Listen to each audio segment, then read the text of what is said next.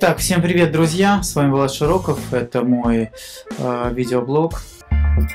Всем привет, друзья! Меня, кстати, спрашивают, э, на какую аудиторию рассчитан мой канал. К сожалению, я не могу дать такого ответа, потому что э, все, что я делаю на своем канале, это просто как крик души, возможно, какие-то воспоминания и э, желание э, читать стихи для аудитории, но, естественно, у меня особо там не смотрят и также для прокачки монтажа. То есть ни на какую аудиторию, в принципе, он не рассчитан. Если есть э, в мире люди таки, такие же, как я, и настолько разноплановые, собственно, в интересах, то, наверное, они подпишутся на канал и э, им зайдет данное творчество тогда возникнет дискуссия, тогда будет э, делать контент намного проще. Но я только э, смею надеяться на это. А пока, э, собственно, просто читаю стихи. В данном видео я хочу прочитать стихи Ирины Самарины, э, нашего современника. Так, погнали.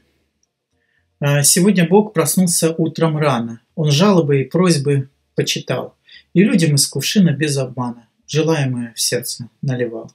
Но не у всех открыто было сердце, и место есть для чуда не у всех. То завистью, враждой подперта дверца, то жадность не дает налить успех. А у кого-то до краев разлита печаль и безысходность, вот беда. И Бог жалел, что сердце это скрыто. Любви хотел налить, да вот куда – и Бог грустил, что люди не умеют сердца и души чистить от обид. Они с годами в сердце каменеют, и сердце превращается в гранит. Но Бог ходил, смотрел и улыбался. Когда сердца влюбленные встречал, он брал кувшин и от души старался. Им счастье в сердце бережно вливал. А люди постепенно расплескали подаренную Богом благодать, и всех вокруг в утрате обвиняли, забыв, э, забыв самих себя э, вину искать.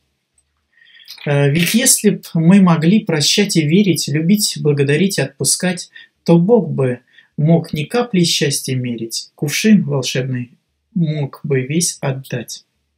Сегодня Бог проснулся на рассвете, огромный ящик с просьбами у ног, а рядом лишь один без просьб э, конвертик. Благодарю за все тебя, мой Бог. Ирина Самарина, 2013 год, на самом деле я вот э, очень, э, мне нравится современник, в данном случае это Ирина Самарина, поэтесса. Она не, не настолько раскрученная, но стихи достаточно такие цепляющие, они простые, чем-то напоминают Осадова, но это только моя точка зрения.